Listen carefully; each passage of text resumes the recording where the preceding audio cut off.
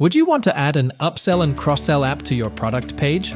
Here's an example app with the features of adding upsell and cross-sell to your product page, cart page, post-purchase page, thank you page, and blog page.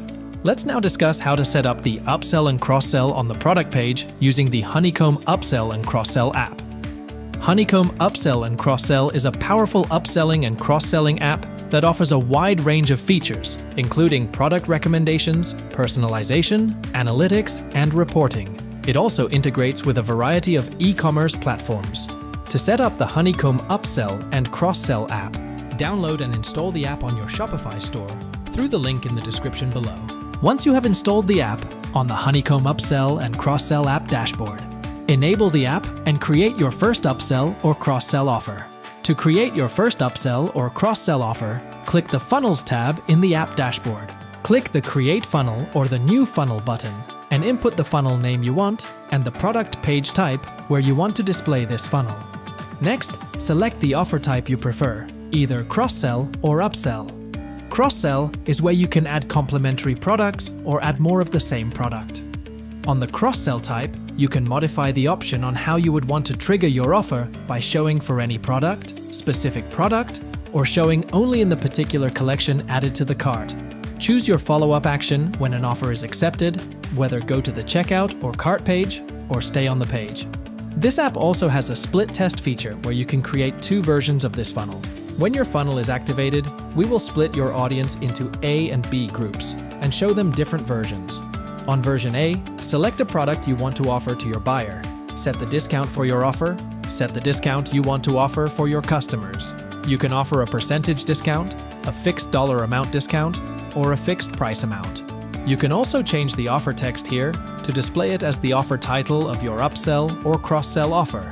Not just that, this app also has an advanced option where you can include free shipping for clients who accept this offer. Limit the number of products your buyer could buy Set a minimal number of products your buyer must buy, exclude variants, and this is a personalized product. By simply ticking the boxes that you want to include and saving the changes to be visible to your offers. Next, on version B, you may set all the settings the same as in version A. An additional feature is adding a downsell condition. If offer number 1 is accepted or declined by the customer, offer number 2 will prompt and suggest a different product to upsell or cross-sell to the customers.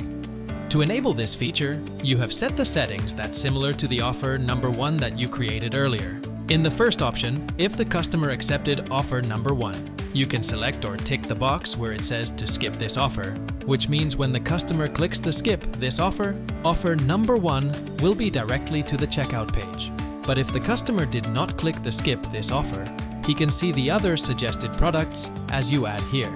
On the other hand, in the second option, if the customer declined the offer number one.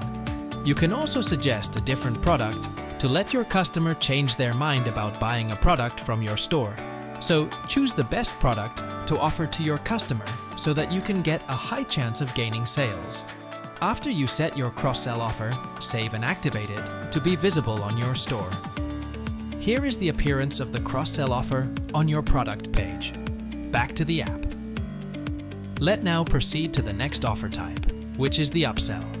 Upsell is replacing an existing product or variant with another. Like cross-selling, you can also choose your follow-up action when an offer is accepted, whether to go to the checkout or cart page or stay on the page. Next, select a product to trigger this upsell. After selecting a product, you can choose what upsell offer you want to give your customers, a variant upsell or a product upsell offer. You can also add a split test feature to this upsell offer with the version A. On the variant trigger, select which variant you would like to trigger for this offer and the variant that will replace the variants in the cart.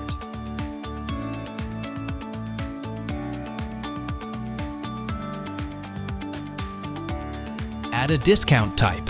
Here, it also allows you to choose a discount offer for the product you select to upsell. But if you don't want to give a discount, you can also set the None option to turn off the discount feature. Also, you can just change the offer text and which text or title you want to display. Advanced option. Here you can add an offer description, including free shipping for clients who accept this offer, and this is a personalized product. On version B, You can set all the settings as in version A. We are moving to the product upsell. You can select a product that will replace the trigger product that you selected when your offer is accepted. Also the discount type and the offer text as well. You can also tick the show different texts for different locales as the translation setting of the app. On the advanced option, you can add an offer description, include free shipping for clients who accept this offer, limit the number of products your buyer could buy, and exclude variants. And this is a personalized product. Same setting as well as version A. Next, after you are all set up, save and activate the offer. Let's check our store and what the upsell offer widgets look like on a live view. Here is the appearance of the upsell offer on your product page. Let's get back again to the app. I know that is a long video so far. But not just that, this app has an additional feature, funnel rules. Here you can set the rules for the funnel, but this feature is an optional one. So before you place this feature, understand how this works on the funnels you set up. Could you allow customers to use a discount code for your upsell offer? Show only for a specific cart value. You can target the cart value when your upsell and cross-sell offers appear. Do not show for specific products and specific collections. You can also choose a particular product and specific collection where your upsell and cross-sell will only show up. Also, you can select to show the funnel only on desktop and mobile or for both devices. You can skip offers if the product is already included in the cart. Target specific countries you would want your offer displayed on your product page. Add funnel priority, set start time and set end time. The last thing is the design of your upsell and cross-sell offer.